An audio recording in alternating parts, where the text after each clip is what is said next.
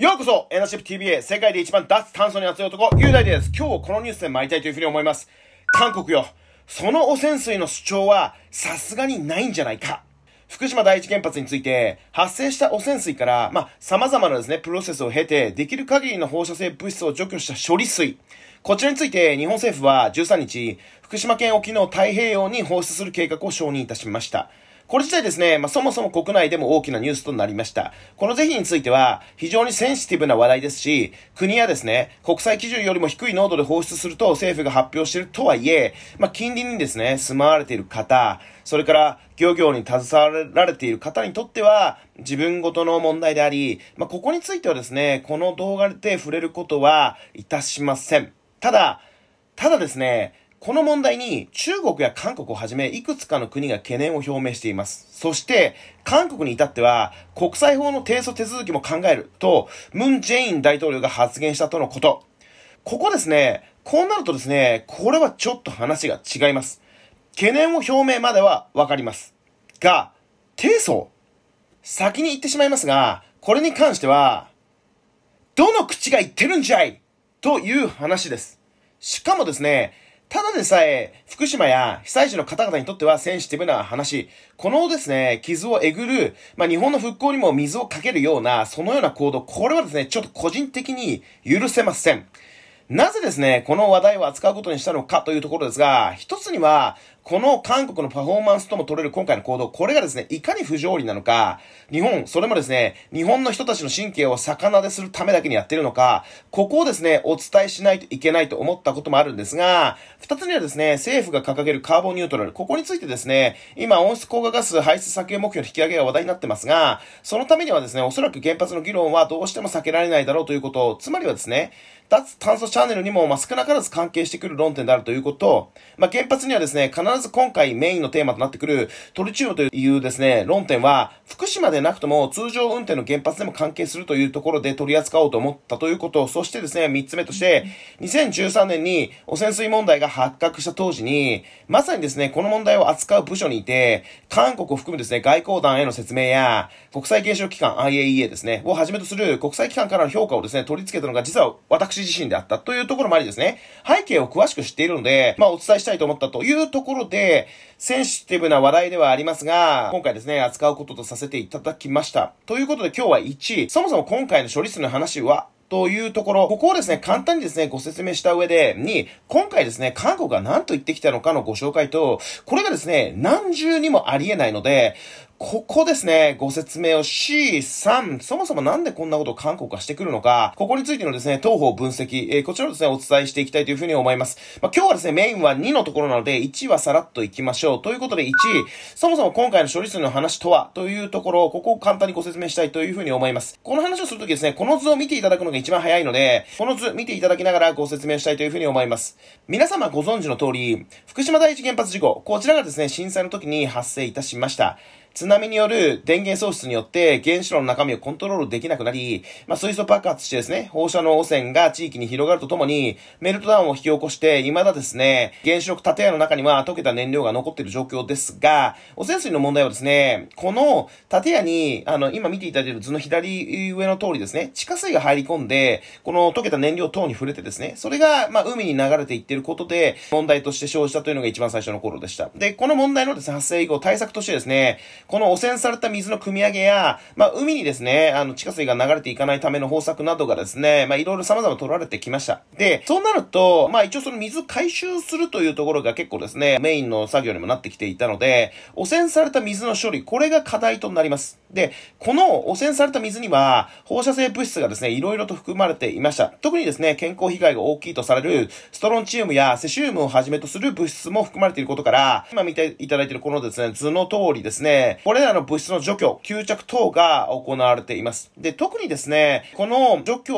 のプロセスにおいて、特に威力を発揮するのが、多角除去設備、通称ですね、アルプスと言われる設備になります。これをですね、通すことによって放射性物質がですね、まあ、規制上問題のないレベルまで、まあ、取り切れる形と基本的にはなりました。ただ、一つだけですね、どうしても取り除けない放射性物質がありました。それが今回メインテーマとなっているトリチウムです。このトリチウムですね、そもそも自然界にですね、普通に存在をし、実は我々の体内の中にもですね、まあ、微量ですが、存在をしています。そのため、科学的にはですね、存在そのものが問題というよりは、まあ、問題となるのは、その濃度が高い時と、まあ、この濃度、ここになるというふうにですね、言われています。で、なぜですね、これが取り切れないかというとですね、簡単に申し上げれば、これがですね、水溶性であり、水と分離ができないからです。で、このトリチウムが残った処理水、こちらについてですね、要はいつもその汚染水組み上げます、処理します。で、最後このトリチウムが残った処理水になります。で、こちらについては要は処理すればするほど、まあ、日々増えていくので、原発周辺の敷地にですね、タンクを作って、この処理水を溜めていたというのがですね、これまでになります。で、自分がですね、携わっていた時には、まあ、初期ですけれども、このタンクがですね、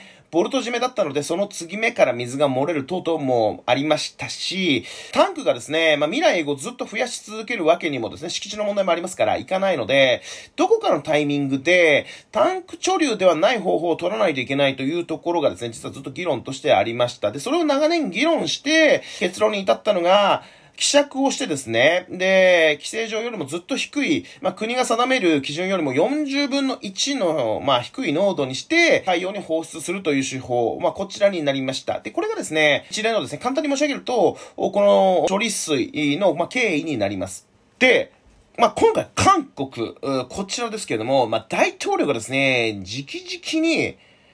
国際法の世界で訴えるぞと言ってきたというところで、まあ、に、今回ですね、韓国が何と言ってきたのかのご紹介と、これがですね、何重にもありえないので、そこをですね、お伝えしていきたいというふうに思います。本当ですね、どの口が言うんじゃというところと、日本人の心を踏みにじって許せんというところ、政府はですね、とは言ってもですね、日本政府はいろいろ配慮しないといけないので、まあ、大っぴらに反撃できないのも、まあ私中にいたのでわかりますから、だったらですね、やっぱりしっかりですね、私は、あの、ここで言わなきゃいかんともですね、ちょっと思っています。では参りましょう。韓国が何を言ってきたのか。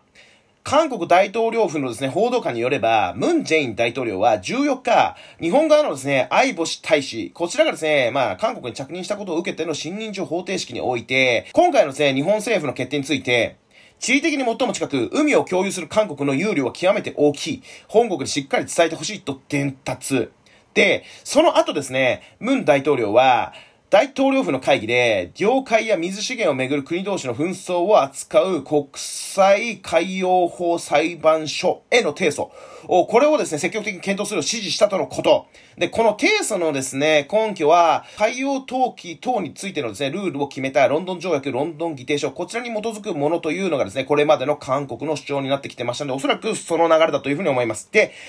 でですね、これ何がありえないのか、3つのポイントがあるんですが、最も大きいポイントは、韓国はですね、今回訴えるぞといったトリチウム水、これですね、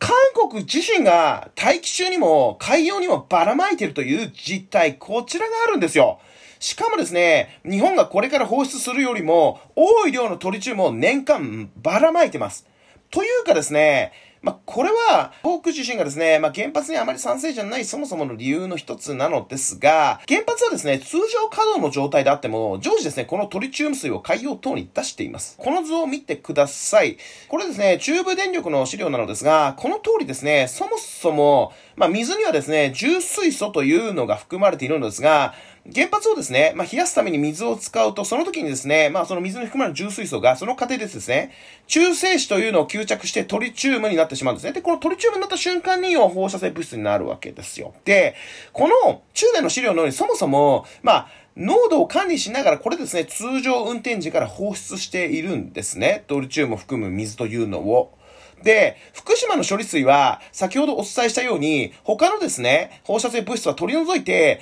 トリチウム水になっていますから、そういう意味ではですね、ステータスは、まあ一緒なわけです。少なくともですね、規制上の概念上では一緒なわけです。で、これがですね、今見ていただくのが、全世界のですね、原発からのですね、トリチウムの放出の量を示した図です。一覧ずらっと並んでいます。見てください。まあ、韓国見てください、韓国。韓国のですね、まあ、月城って書いてある、まあ、ウォルソン原発から、まあ、2016年ですね、液体放出については、約ですね、17兆ベクレル。で、気体放出については約ですね、119兆ベクレルのトリチウム、こちらがですね、垂れ流しになっています。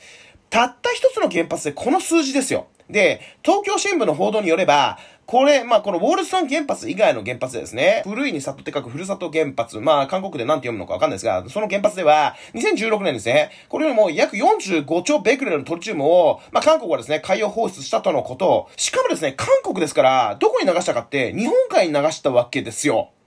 は？と思われた方、そうですよ。これひどくないですか？福島沖に流しても、海流の関係でですね、韓国にはですね、そのトリチウムいかないものの、日本もですね、漁業をする日本海に、彼らはですね、トリチウム水出してるんですよ。で、先ほど単位を申し上げましたが、日本がですね、これから2年後からですね、開始するトリチウム水放出によるトリチウムのですね、海洋に出る量、こちらについては、1年間ですね、放出するトリチウムの量を、事故の前の福島第一原発が通常の運転をしていた時に目安とされていた22兆ベクレルを下回る水準となるようにするという方針を出しています。つまりですね、つまりですよ、韓国はですね、日本海に今この瞬間も含めて平常運転で垂れ流しているトリチウムの量よりも、今回ですね、日本政府が海洋放出を決めたトリチウムの量は少ないんですよ。つまりですね、韓国は、その、この福島の問題よりも、多くの量のトリチウム、日本海に出してるんです。僕が言いたいのはですね、トリチウムの放出自体の是非、こちらについて言うのは、まだわかるんです。海を汚すなと。まあ、ここはですね、これを単体で言うだけだったら、自分たちがやってなくてそれを言うんだったら、一般のとしてそれを言うんだったら、まだわかりますが、それを言うなら、自分たちのですね、まずやめろよというところなんですよ。自分たちはですね、日本も使う日本海に池シャーシャーとトリチウムを日々流し続けているのに、日本がですね、事故から苦労してここまで来て、それをですね、韓国よりも少ない量にコントロールして出そうとしている。そこについてですね、国際法で提訴するぞと日本を悪者にする。ありえないでしょダブルスタンダードでしょトリチウムを問題にするなら、自国の原発全部止めて、トリチウムを海に出すのをやめてから言えよと、私思うわけですよ。ちなみにですね、日本の外務省、まあ、あの、在韓国の日本大使館にはですね、前々からですね、この反論の論点が実は、あの、さりげなく掲載をされています。あとですね、まあ、もう一度、この一覧表を見てください。韓国だけじゃなくて、まあ、各国ともに出してるんですよね。まあ、他が出してるからいいっていう話じゃないんですが、各国ともに出してるっていうのが、まあ、一応事実としてあるわけですよ。だったらですよ、韓国、今回日本提訴するって言ってるんだったら、他の国もですね、全部提訴しろよという、まあ、こう言いたいわけですよ。主張としてですね、そもそもトリチウムの放出は良くないから、もう原発は全て世界でやめにしようと主張して、他の国にも提訴すると噛みついているなら日本に噛みついてくるのもわかりますよ。でもですね、他の国には全然噛みつかないで、日本だけ、しかもですね、日本が出そうとしている量は、比較の上では少ないのに、こういうことをするわけですよ。ふざけんなよと言いたいです。二つ目のありえない点なのですが、国際法を申し出した点です。このですね、国際法、ロンドン条約とロンドン議定書、まあ先ほどお伝えしたとした通りなんですが、このですね、案文の通り、基本的にですね、船舶等からの海洋への投機についてですね、規定されたもので、陸からのですね、投機については実は適用対象外と解釈されています。で、今回の日本のトリチウム水は陸からの海洋への放出なんですね。つまり、まあ、この国際法の論点だけで言うとですね、これ、今回のですね、韓国が念頭に置いている国際法のですね、対象外なわけですよ。対象外の法律持ち出してきて、訴えるとですね、今この瞬間言ってるわけですよ。まあ、もしかしたら他の国際法を見つけてくるのかもしれませんが、今この瞬間、これまでのロジックだって少なくともそうなわけですよ。は？ですよね。そもそも、陸からの陶器、ここは、それこそですね、川を通じて、海に流れてる生活排水とか、まあ、こちらなどもですね、環境への影響は当然あるわけですよ。まあ、水銀とかも含めてですよね。で、それはですね、さすがに今の国際法では、まあ、裁ききれないので、まだ整理できてないフィールドになっています。だってそうですよね。例えば途上国とかの川の排水まで国際法で裁けますか？この瞬間って話ですよ。きりないですからね。で、しかもですね、僕は言いたいんですが、韓国からの海洋プラスチック問題、これですね、汚染という意味では結構深刻で、日本のですね、対馬には、韓国からのですね、ハングルが書いてあるゴミがですね、流れ着きまくっていて、これ実は問題になってるんですよ。おいおい、自国はですね、トリチウムは原発から出すわ、日本に対してですね、ゴミまで漂着させてるのに、陸からの投棄については、適用対象外の国際法を持ち出して、訴えると大統領レベルで言ってるのかいと。これもですね、さすがにありえないというふうにですね、思っています。で、続いてですね、あの、3点目なんですけども、まあ、個人的にですね、本当にこれありえないなと思ってるのが、相星大使のですね、あの、まあ、相星大使、私あの、実は気候変動やってた時の女子だったんですけども、あ相星大使のですね、信任状方程式で、ムン大統領がですね、物申したことですよ。信任状の法廷はですね、新たな大使が着任した時に、それをですね、まあ、儀礼上歓迎するためのですね、外交儀式で、外交儀礼に乗っ取ります。で、そのような場において、いや、自国に伝えてくれっていう攻撃的なトーンではないとはいえ、文句を言ったわけですよ。これですね、通常考えられないことであり、大変失礼です。で、仮にですね、この日のうちに文句を言わなきゃいけなかったというのであれば、同じ日にですね、文句を言うにしても、このですね、方程式、このですね、これが終わってから、再度ですね、大使を大統領府に呼び出す、そして文句を言う、そのですね、それぐらいの最低限の礼節はあるべきです。要はですね、この信任状方程式の中でやる必要がないんですよ。で、ここについては、韓国のですね、報道官ですら、信任状方程式の観覧で、このような発言をするのは極めて異例だと言っています。もっともですね、彼らにとっては、異例なことをするぐらい日本のやったことが問題だと言いたいのでしょうが、とにかくですね、これは異例なことなんですね。で、異例であって、かつ、侮辱的な行為なわけです。しかも中身は、自分たちは垂れ流しているのに、ダブルスタンダードの批判をしながら、そもそも関係のない国際法の議論を持ち出してきた、言いがかりにすらなっていない内容なわけですよ。は？もうですね、もうあの、私個人、まあもう、あの、自衛隊機にですね、照射した事件とかもありですね、その時も憤りましたが、これですね、もうロジカルに考えて、今回こうロジカルにご説明申し上げてきたつもりですよ。これ本当にありえないです。で、3、そもそもなんでこんなこと韓国がしてくるのか、ここについてのですね、東方分析をお伝えしたいなというふうに思います。一つにはですね、交渉の材料にしたいということだと思います。日本にとってマイナスという材料を見つけると、このようにですね、政治を上げてパフォーマンスをする、それをですね、別のところの交渉の材料に使いたい、そういうのがですね、まあ、韓国のパターンであれば、今回もですね、そういう算段がですね、あの、透けて見えます。過去にもですね、あの、全然関係ない WTO の貿易の観点とかでもですね、福島の論点を使ってきたことがありました。またですね、過去にはですね、国際原子力機関 IAEA の総会でですね、他の国は誰一人問題視してないのに、韓国だけがですね、日本を名指ししてですね、批判したこともありました。とにかくですね、この福島に関連した話題は韓国にとっては、どうやらですね、美味しい批判材料のようです。で、日本のですね、まあ、レピュテーション、評判を下げて、弱らせて交渉の材料に使う。それがですね、一つの目的ではないかというふうに見ています。ちなみにですね、例えばですね、今回に関してどういうことが想定されるかというと、まあ、あの、近々ですね、東京オリンピック・パラリンピック、まあ、これどうなるかわかりませんが、まあ、あるとされているので、そういう中でですね、まあ、北朝鮮がもう出ないというふうに言ってますが、それまあ、韓国としてはですね、一緒にやって、なんかその、南北みたいなところの象徴を、みたいなことも多分考えてみたいな、みたいなんで、ここのですね、当てが外れたことも、みたいなことは報道でも言われてますが、まあ、いずれにしてもですね、韓国が今回やってきうる論点とすればですよ、そんなですね、海洋放出もして危ないところに、韓国選手団を送れないというようなですね、嫌がらせ、まあ、どうせ来るんですよ。どうせオリンピックには来るんですけど、来るにもかかわらずそういう嫌がらせをするというようなことがですね、まあ想像されます。そもそもですね、五輪には政治は持ち込んではいけないという話がそもそもあるんですが、それはさておきですね、過去のトレンドを見ると、やってきてもおかしくないです。というのもですね、これ前例があるんですよ。福島のですね、空間占領のことをですね、問題視してですね、過去にですね、あの、そんな危ないところにはみたいなこととって実際言ってきたことがあるんですよ。2年くらい前だったと思いますが。で、そういうイチャモンつけてきたこともありました。で、ただですね、これもで、全然ロジカルじゃなくて、実はですね、ソウルの占領は、いわき市よりもですね、空間占領高いんですよ。あそういうですね、科学的にですね、実は自国の方が高いにもかかわらず、そういうふうにですね、福島のことをですね、イメージだけですね、そういうことをやって嫌がらせしてきたみたいなことが過去にはあったわけです。で、あの、まあ、感情的にですね、この論点をお話しすると良くないのでですね、まあ、ファクトベースでお話をすると、少なくとももうその事実としてそういうことをやってきたということはですね、実際あったわけです。で、もう一つの側面はですね、まあ、あの、政権のですね、国内対策に、あの、なるかなというふうに思います。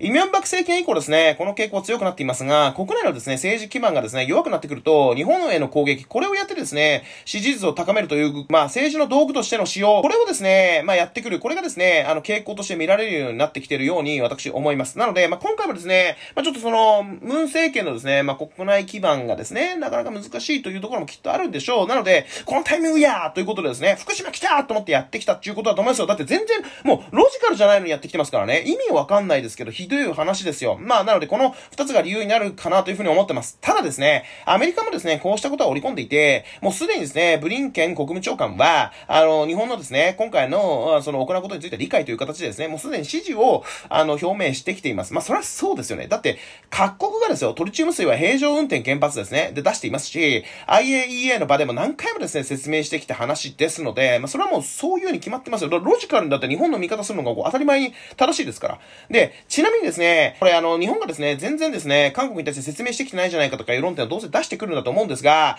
これですね、僕が外務省にいた時にも、もうですね、何回もですね、韓国にですね、もうですね、個別にですね、もう超丁寧に説明をしてきていて、もう今でもずっとやってきてますし、事実その通りですね、日本政府はですね、もう韓国にはですね、もう何回も説明してきたよって言ってるわけですよ。だからそれもですね、言って、韓国がどう主張しようが、説明したという事実はあるので、そこもですね、本当にすれ違う論点になってきてしまうと思いますよ。まあ、そういうのもありですね。まあ、ロジカルにですね、何が今回ひどい話なのか、説明をですね、心がけてきましたが、何よりもですね、許せないのは、被災地の方々の気持ち、ここもですね、踏みにじっているということですよ。